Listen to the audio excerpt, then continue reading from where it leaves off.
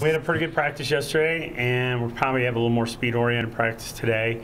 Uh, we kind of changed our weight a week ago, so we're still implementing that and um, just fine tuning some stuff, some really exchanges. We spent a lot of time on that Saturday after the meet um, and practice, and the women were pretty done. So we did a lot of core work and um, postural awareness type stuff in the water. And uh, but I thought it was a good session. I think they got a lot out of it. And the guys had a super challenging set Saturday, so it was pretty cool. Dave came up with pick six events, and they had to hit the third place time in the Air Force meet six times by any six guys before they could leave, and it was awesome. I heard it was really special, and the guys got together a couple times when they were struggling to try to figure out a way to get those times.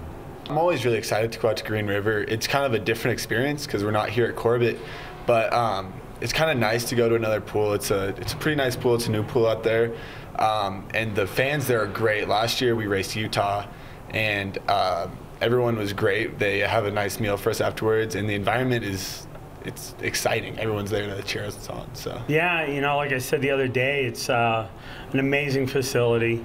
Um, seats about 500.